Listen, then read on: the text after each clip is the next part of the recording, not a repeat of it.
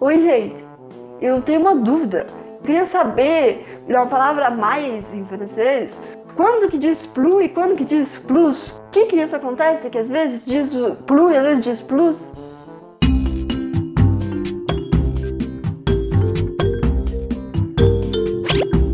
E aí, gente, tudo bem com vocês? Bem-vindos a mais um Coquetel por Qual.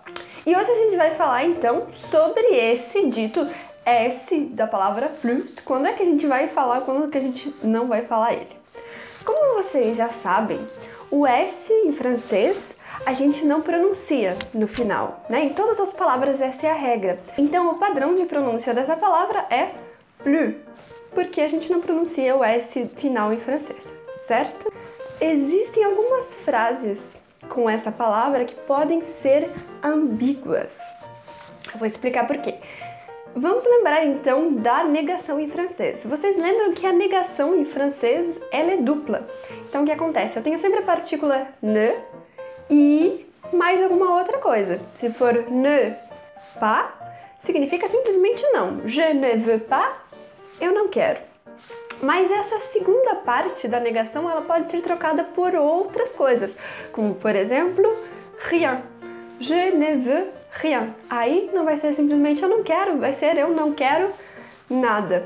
E essa segunda parte da negação também pode ser a palavrinha plus. Então quando eu digo je ne veux plus, eu não quero mais. Então é um pouquinho diferente de simplesmente eu não quero, né? Então essa negação dupla sempre vai brincar com ne e mais uma outra palavra. Mas tem uma característica do francês falado na oralidade que é a seguinte, que é bem importante para entender isso daqui, que é, por mais que a negação seja dupla, que a gente tem essas duas palavras para fazer a negação em francês, na oralidade a partícula ne acaba caindo.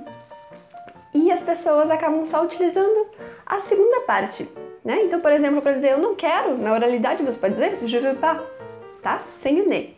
Vamos pensar então na frase eu não quero mais. Je ne veux plus. Se eu tiro a parte do ne, que é o que vai acontecer na oralidade, fica je veux plus. Opa! Aí tá a ambiguidade, porque o que acontece? Eu tô querendo dizer que eu não quero mais. E eu tirei o ne dessa negação. E aí ficou simplesmente eu quero mais. Opa! Aí não teria como saber se a pessoa tá falando eu não quero mais ou eu quero mais. Então, para mostrar essa diferença do plus quando ele é negativo e quando ele é positivo, as pessoas começaram a pronunciar o S quando havia essa ambiguidade e quando ele tinha o sentido de positivo, então para diferenciar no negativo. Então, quando as pessoas querem dizer eu não quero mais, eles vão dizer je ne veux plus ou simplesmente je veux plus.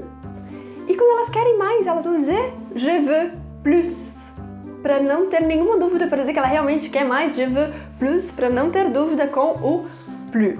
Ou seja, a gente vai pronunciar o S de plus, principalmente quando houver uma ambiguidade, quando não ficar, não ficar certo se é uma frase positiva ou negativa, ou em algumas expressões, como por exemplo, de plus en plus. Espero que vocês tenham gostado do Coquetel Pourquoi de hoje e se vocês ainda têm mais dúvidas, vocês podem sempre conversar comigo. Vocês podem marcar uma aula Tira Dúvidas lá no site coquetelf.com, que são aulas especiais para as pessoas que estudam sozinhos.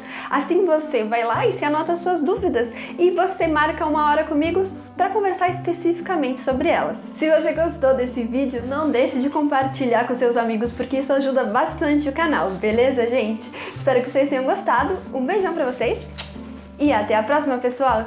Tchau!